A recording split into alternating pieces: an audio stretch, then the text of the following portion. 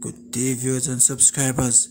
Welcome back to the channel, the Global News TV. We're here to bring you the latest news and updates from around the region. Five killed across the highland in Bloody Tuesday. Five persons were killed in gun attack across the island on Tuesday, October the 26th as the nation continued to grip with violence crime.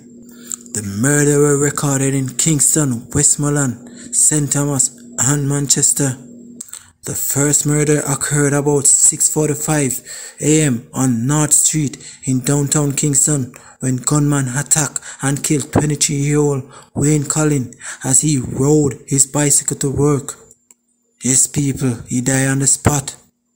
15 minutes later in Manchester, gun, gunman shot dead 26-year-old Chainard Chamble, otherwise called Diego of Lilyhampton district in Manchester and another man.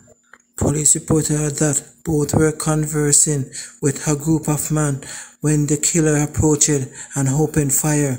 Campbell was pronounced dead at hospital while the other man was admitted and treated for his injuries. In the East Kingston community of Franklin Town, gunshot rang out about three hours later when the smoke were clear.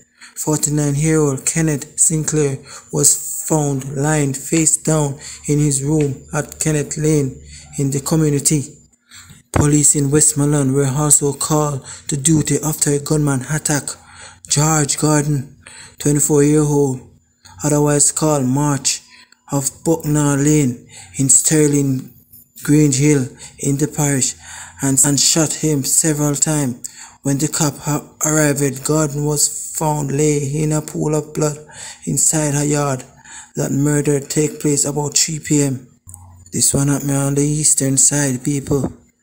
Reported that 55-year-old Fitzroy Burke, also known as Pedro of 11 Mile Bull Bay in St. Thomas, was killed in an area as Lane Gate in his community. Burke was inside a shop when gunman attacked and snapped at his life and sniffed out his life.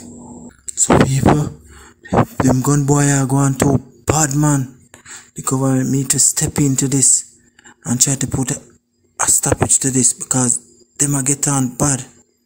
Five killing in five different area in Jamaica. I don't know what's going on in Jamaica. You the truth.